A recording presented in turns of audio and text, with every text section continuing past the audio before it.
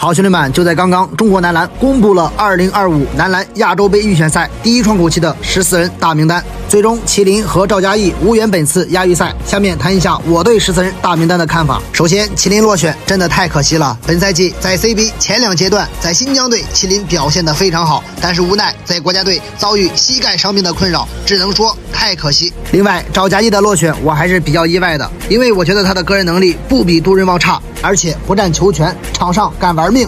有人说赵嘉译的身体不如杜润旺，我想说杜润旺就算有身体，但是基本上还是被一步过。他有防守吗？反正兄弟们，这个十四人大名单，富豪和杜润旺都入选，我还是挺意外的。富豪是积极，但是我们也看到了，在昨天晚上的热身赛中，中国男篮集训队虽然战胜了青岛，但是篮板球比青岛队少抢了七个。而昨天晚上富豪的表现，两分零篮板一助攻零抢断。说实话，这不是针对富豪，而是打国家队，富豪可能真的不行。另外，兄弟们，李延哲他不香吗？而且我觉得王哲林入选都比富豪要管用的多。最后谈谈徐杰的入选。说实话，十四人大名单最终报名十二人，我也猜到了，因为徐杰可能打日本队，乔尔杰维奇让他去盯防日本队的小后卫，这个还可以说得过去。最后说一下打小日本和蒙古队的期待吧，我挺期待小将杨汉森、王瑞泽、廖三宁的发挥，毕竟这是小将第一次入选国家队。另外，兄弟们，胡金秋和阿卜杜沙拉木也挺让人期待的。反正兄弟们，这次十四人大名单就在这儿了，用一句话来概括，那就是矮子里面挑将军，